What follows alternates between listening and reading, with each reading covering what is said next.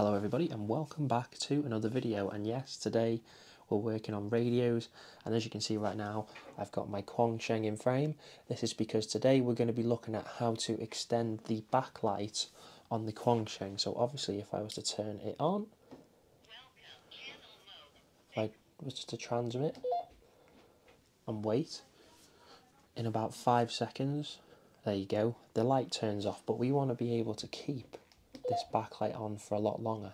So today I'm going to show you how to do that. So you're going to need a computer with Windows, you're going to need a programming cable and of course your Quansheng radio.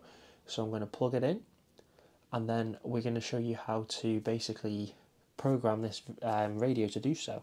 But first, before anything, when you are plugging this in, it needs to be in a programming mode. So what we're going to do is we're going to hold the push to talk button and twist. Now as you can see the light has come on. This means that the radio is in a programming mode so say you, you were to update the radio this is how you do so. Now you've done that you can plug the USB into the computer and then the side port into the radio. So I'm going to plug in and then we're going to move over to the computer and we're going to continue from there. So right now as you can see we're on Chrome. So what we're going to do is we're going to go over to this web address here. So it is, I'm going to leave it in the description, whosmatt.github.io slash uvmod. Again, this will be in the description, and we're going to be taken to this page. So remember, our radio is in a programming mode. So now right here, we've got a list of different modifications that um, we can patch onto the radio. Um, you can add some of these if you'd like, but for us, we're just going to be working with the LCD backlight extension. So we're going to scroll down until we can see backlight duration. Now we're at the backlight duration, we're going to tick the box and then we're going to choose how long do you want it on for. So you can choose up to 10 seconds, to 20 seconds or to 40 seconds. Me personally, I'm probably going to choose 20 seconds. Once we've done this, we're going to go over to this right side where it says console and we're going to press patch firmware. Now this is going to create the firmware ready for the radio. Now, what we're going to do is we're going to flash directly. So press flash directly. Then it's going to come up and say connect to a serial port as you can see. Paired, it can see the radio and we're going to press connect.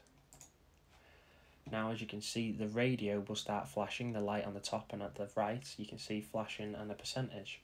So what we're going to do is we're going to let this get to 100. Once it's got to 100 I'm going to safely disconnect the radio just by unplugging it and then we're going to move back to the camera and we're going to show you that this has been complete. So as you can see successfully flashed firmware. The radio has just restarted on me so I'm just going to disconnect it now. Right it is now disconnected. I am going to move over to the camera and I'm going to show you what we have done. So we're back with the radio. As you can see, we're just set up on PMR6. So now hopefully well not hopefully, now when I click transmit or I do anything, up, down, it will now be, as you can see, 20 seconds before this cuts off. So we'll just leave it, we'll leave it and we'll wait until the screen goes blank.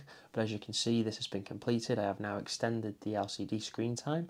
If you want to put 40 seconds, you can put 40 seconds. You can kind of choose, but it just extends it a little bit longer, which can be very helpful when you're trying to read stuff or you're kind of going through stuff and you need a bit more light. So I hope this video has been helpful and very simple. Thank you very much for watching and I'll see you all in the next video.